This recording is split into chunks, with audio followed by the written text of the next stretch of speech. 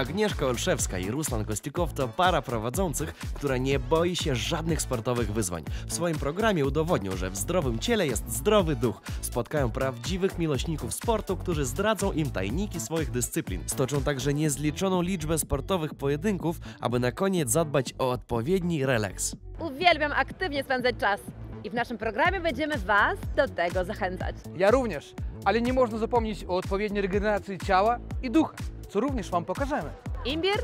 I cytryna! Zaczynamy!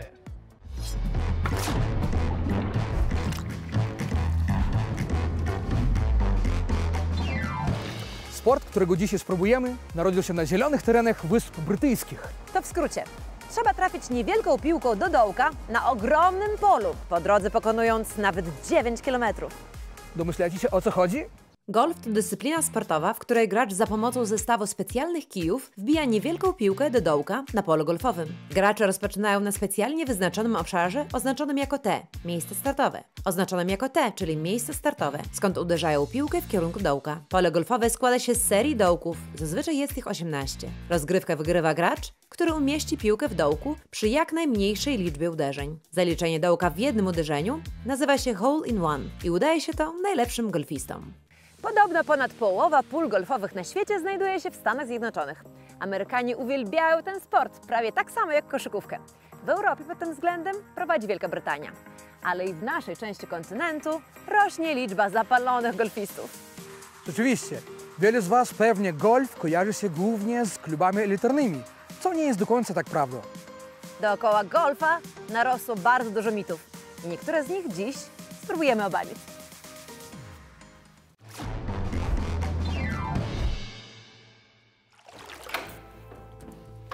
Dzień dobry. Dzień dobry. Witam. Dzień dobry. Witam. Przyszliśmy do Pana, bo z kim jak nie z Panem rozmawiać o golfie? Od wielu lat jest Pan propagatorem golfa na Litwie. Jak to się wszystko zaczęło?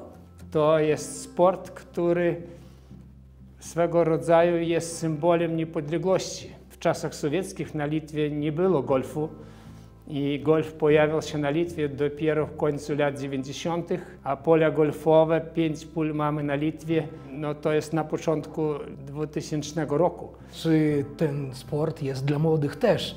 Bo na pierwszy rzut oka golf jest dla elit.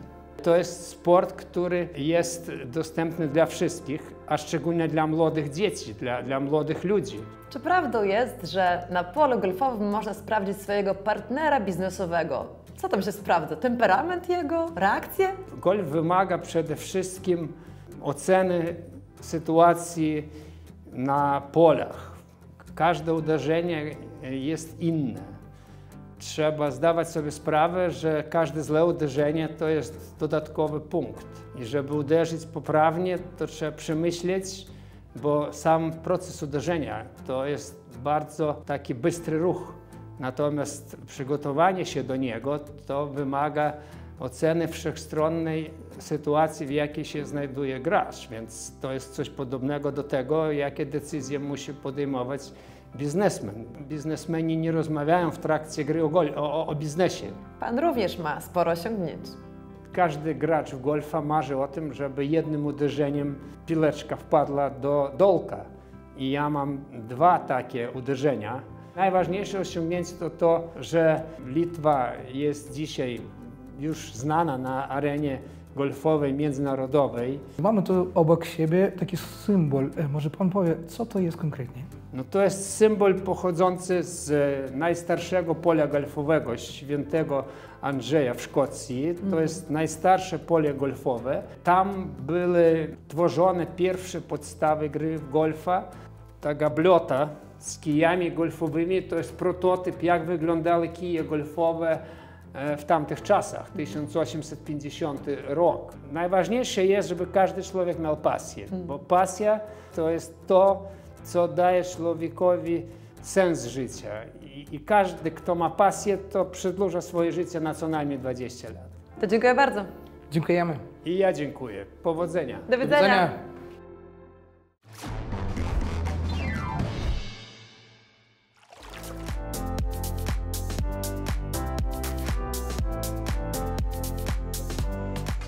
Domantas Matulis, doświadczony trener gry w golfa, przed którym ten sport nie ma żadnych tajemnic.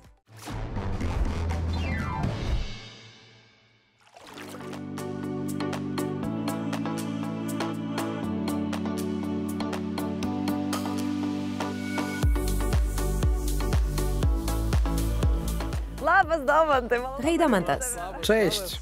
Witajcie! Jesteśmy w geograficznym centrum Europy. Czy pola golfowe to popularne miejsce? Coraz popularniejsze.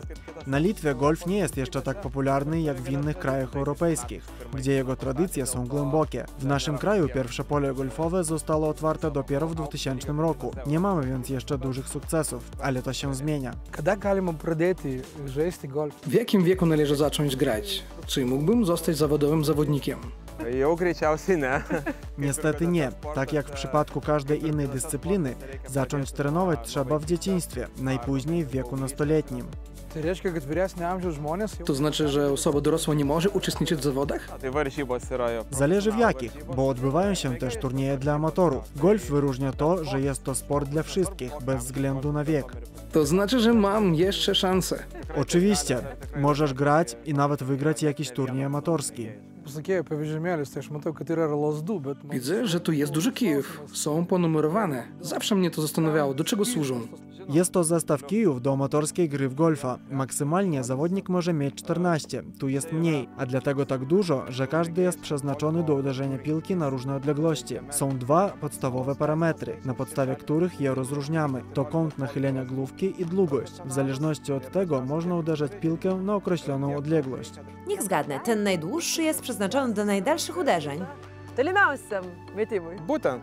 Zgadza się, ten kij nazywa się driver. Jak widzicie, jest najdłuższy i ma niski kąt główki. Jak się tak patrzy, to wydaje się, że muszą ważyć pół kilograma. Otóż nie, to najlżejszy kij. Jak to możliwe tak uderzyć w piłkę, żeby osiągnąć odległość ponad 160 metrów? To kwestia techniki, czy po prostu trzeba mieć szczęście? Na, tai yra technika. Owszem, technika jest ważna, ale liczą się też możliwości fizyczne. Im człowiek ma lepszą kondycję, tym lepszy wynik osiąga. Nie jest to jednak dyscyplina, która wymaga siły. Przede wszystkim trzeba umieć celnie uderzać. Chcę zapytać o trawę. Czy to prawda, że latem czasami jest koszona nawet kilka razy dziennie? Może nie kilka, ale raz koniecznie. Obszar, gdzie znajduje się dolek z flagą, jest koszony codziennie. Trawa ma tam wysokość 3 mm, dzięki temu wygląda jakby to był dywan. Od czego musimy zacząć, jeżeli chcemy nauczyć się grać w golfa? Trzeba zacząć od podstawowego kursu, czyli zielonej karty. Kurs trwa 8 godzin. Uczymy się zasad, techniki gry, etyki graczy. Jest to teoria i praktyka. Po ukończeniu kursu można rozpocząć grę na polu golfowym. Bardzo chcę spróbować. Chodźmy.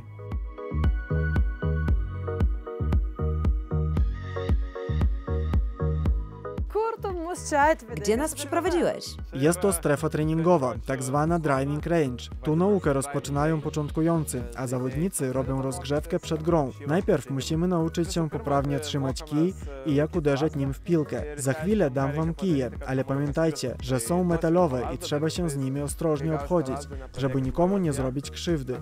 Trzeba go trzymać przed sobą, tak żeby ta część była zwrócona w waszą stronę. Lewą rękę wyciągnijcie, żeby była za kijem. Powinna być zwrócona do Was. Przyłóżcie rękę na wysokości około centymetra od dołu. Trzeba uchwycić palcami, a nie dłonią. Zamykamy dłoń, kciuk na kiju. Lewa ręka powinna być blisko prawej. Nie powinno być między nimi wolnej przestrzeni. Kciuk chowamy w dłoni i tak trzymamy kij. Ir šitą nykštį mes paslėpiam po delnu. Štai šitą. Nie sądziłam, że to tak się robi. Trzymajcie delikatnie, nie trzeba mocno zaciskać. Trzeba uświadomić sobie kilka rzeczy. Jeśli chcemy, żeby piłeczka leciała daleko, trzeba trafić w nią w środku tego miejsca, gdzie są te oto rowki. Teraz bierzemy piłeczkę. Celujemy w nią łopatką kija. Naszym celem jest wybicie jej prosto w tamtym kierunku, bez konkretnego miejsca. Celujemy, przygotowujemy się do uderzenia. Odprowadzamy kij do tyłu w górę. Oczy skierowane zawsze na piłeczkę. Wykonujemy wolny i płynny zamach celując w piłeczkę. I raz, dwa, obserwujemy jak leci. Viens, du. Chcecie spróbować? Tak, Jasne.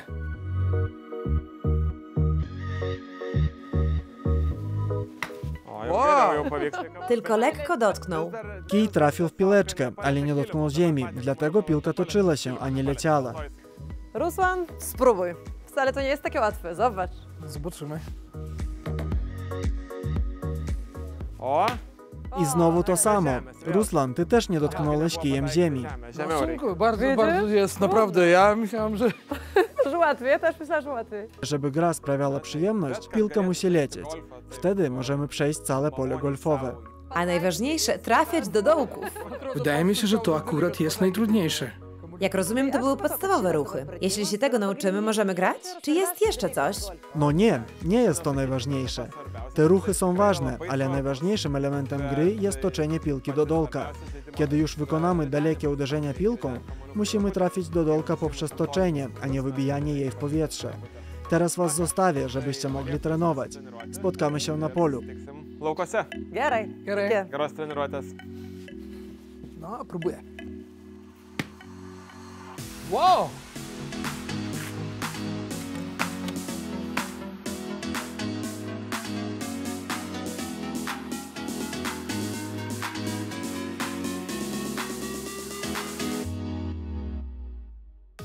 Nareszcie jesteśmy. Ćwiczyliśmy w strefie treningowej. Teraz jesteśmy na polu golfowym. Zaczynamy grę z prawdziwego zdarzenia. A prawdziwa gra jest wtedy, gdy mamy start i finisz i staramy się trafić piłką do dolka przy najmniejszej liczbie uderzeń. Macie okazję spróbować. Przekonamy się, komu lepiej idzie. Zazwyczaj jest to 18 dolków. Odległość między nimi wynosi od 100 do 600 metrów, co daje łącznie około 10-12 km. Przejście całego pola zajmuje około 4,5 godzin. Wy jesteście dopiero po pierwszym treningu, macie więc ułatwione zadanie. Pole jest mniejsze. Widzicie tam chorągiewkę? To wasz cel. Przed pierwszym uderzeniem piłeczkę kładziemy na patyku. Daję każdemu z was piłeczkę, którą wykonacie swoje pierwsze uderzenia. Jakiego kija trzeba użyć? Proponuję numer dziewiąty. Tych kijów używaliście podczas treningu. Musimy teraz ustalić, kto zaczyna. Użyjemy patyka. Zaczyna ten, który wyciągnie z bardziej ostrą końcówką. Rzucam. Ty zaczynasz. A co jeśli trafię piłeczką do wody? Dostaniesz rzut karny. Ale można też piłeczkę zostawić obok strefy karnej, bo woda to strefa zabronionej gry. Jest jeszcze możliwość wybijania z wody i wtedy nie ma kary. Weź proszę patyk i wbij go do ziemi. Jesteście gotowi do gry. Zostawię was. Przekonajcie się, komu lepiej się powodzi. Udanej gry. Do zobaczenia. Dziękujemy. Dzięki! No, ciekawa jestem. Czyja piłeczka pierwsza trafia do dołka? A ja jestem ciekaw, jak długo nam to pójdzie. Odsuń się. Dobra, Wiesz- dobra już.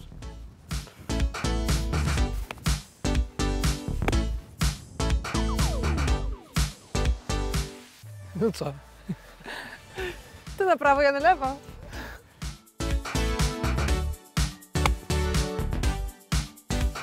Widzę, że Agnieszka jest coraz bliżej dołka. Muszę ją dogonić.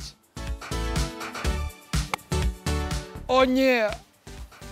Widzę, że piłka jest coraz dalej. Muszę ją poszukać. Tak na oko, do dołka zostało mi jakieś 15-20 metrów.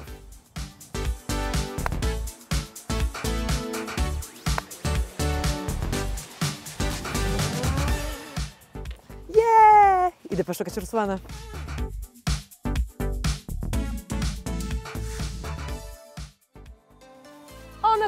Poszło?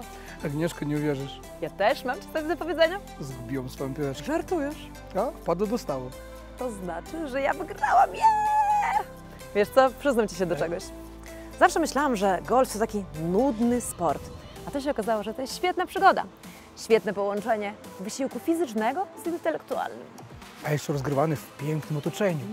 Bliskość natury w golfie jest bardzo relaksująca. A teraz czas na jeszcze większy relaks. Ja o to oczywiście zadbałam. Są dwie opcje na nawodnienie naszego organizmu. Jestem ciekawy, co jeszcze wymyśliłaś. Ty pójdziesz do zielarki, dowiesz się coś o ziołach, a ja do herbaciarni, okej? Okej, Idziemy. wiemy.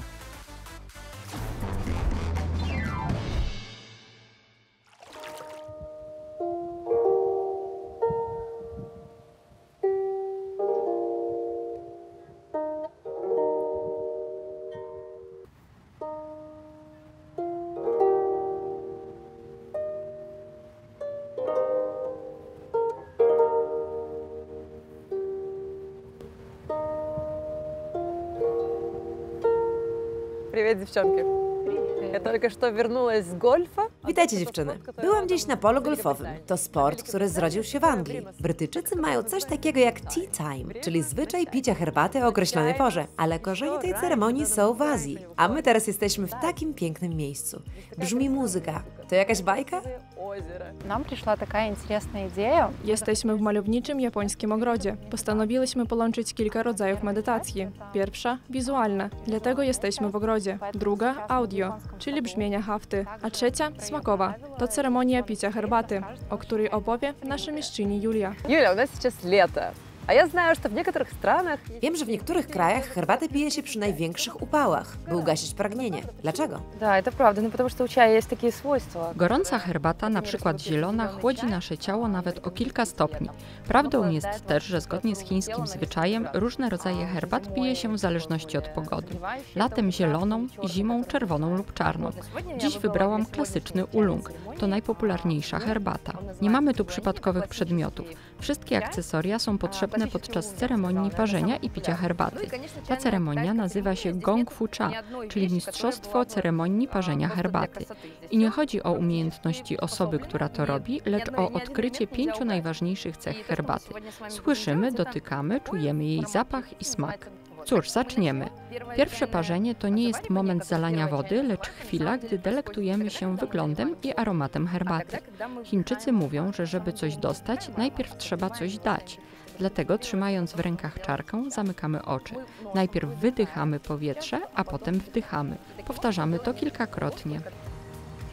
Jestem w raju, muzyka przepiękna, aromaty cudowne.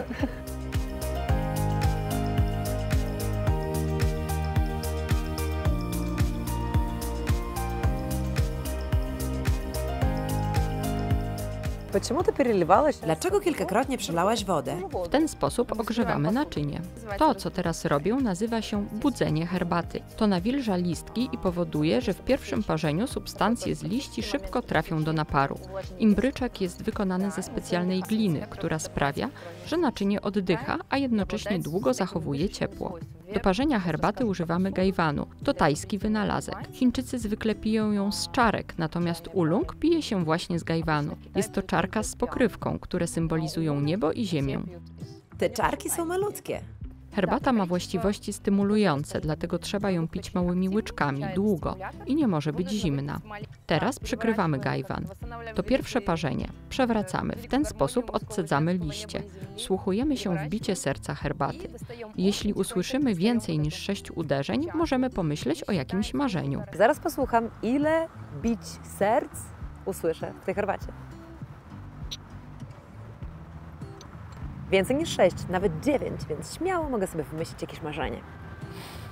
W tej czarce herbata zostawia swój aromat.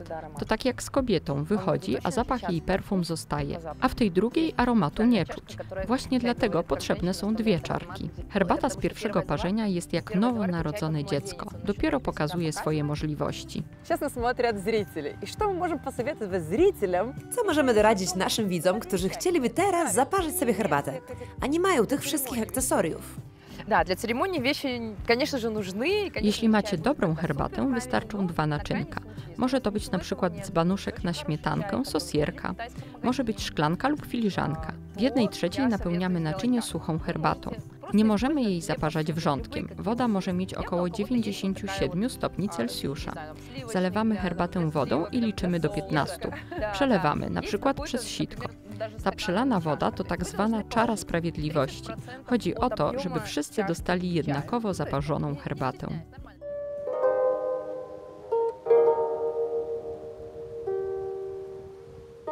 Cóż może być piękniejszego? Emrita grająca przepięknie na harfie, dziewczyny z herbatą, cudowna przyroda, aromaty, zapachy, słońce i lato. Żyć nie umierać. Dzięki. Dzięki.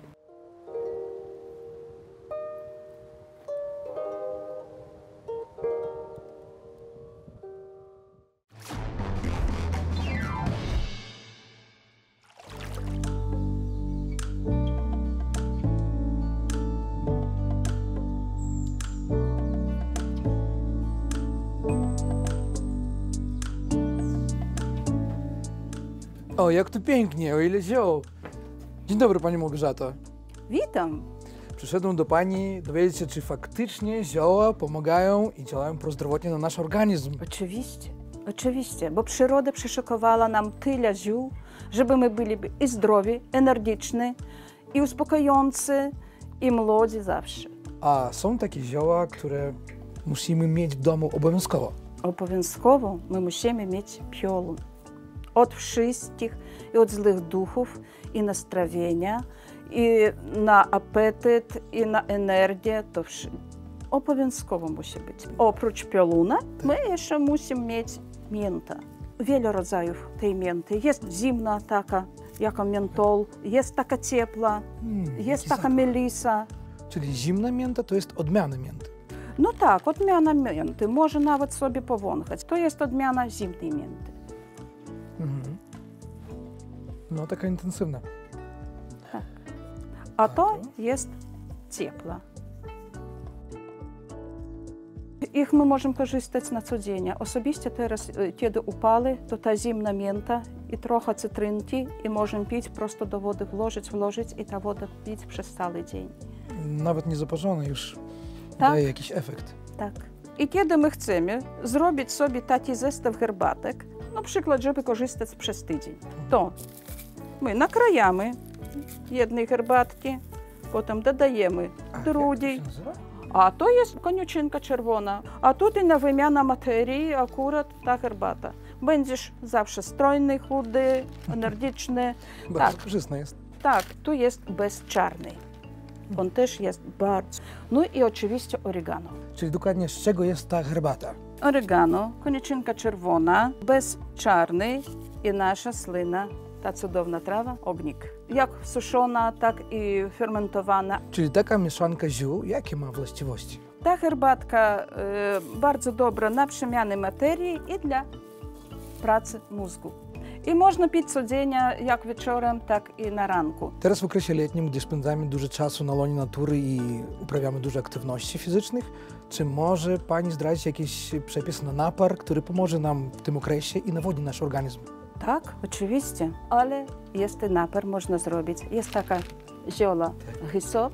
On nie daje z organizmu wody wyjść, bo i tak człowiek bardzo potnieje na takich upalach. To jest serdecznik. On uspokaja człowieka organizm i nie daje denerwować się. Jak nie denerwujesz się, nie potniejesz.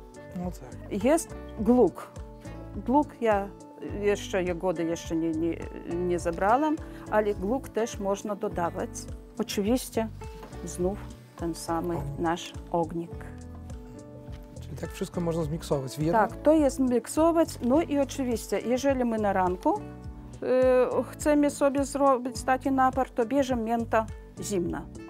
Jak długo pożymy taką herbatę? 15 minut wystarczające i przez cały dzień można wziąć większy pojemniczek, zaparzyć na cały dzień. Czyli można nawet na zimno później. Tak, można do lodówki i ona będzie cały dzień już gotowy, jak chce się napić w takich upalach, to zawsze gotowy nam napój.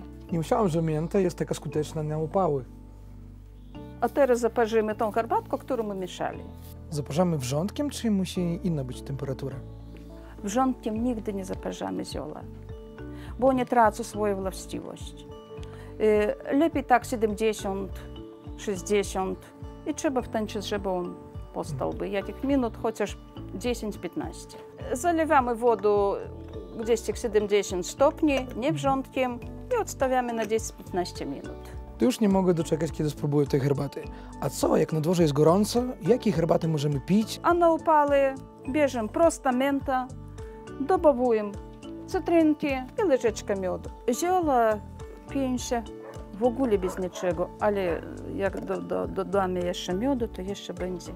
Dodajemy miodu konkretnie do herbaty? Do herbaty. Czyli miód właściwości swoich nie traci, jeżeli dajemy do herbaty? Y, już na taki stopień temperatury wody już nie. Czyli miodu nigdy nie dodajemy do wrzątku? Tak. Kiedy już ostygszy napar postał, to już można dodać trochę miodu. Co próbujemy? Na zdrowie. Na zdrowie.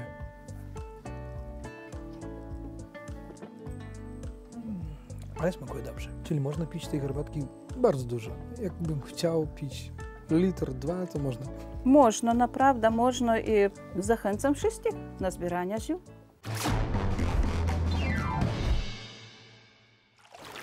Witam ponownie. I jak tam? Zadowolony? Dobrze. Nie spodziewałem się, że o ziołach dałem się tyle nowych rzeczy. A ty, Agnieszka? A ja spędziłam cudowny czas delektując się przepyszną herbatą na łonie natury. No i nie zapominajmy o lekcji golfa. Golf to sport, którego warto spróbować. Do zobaczenia. Cześć. Cześć.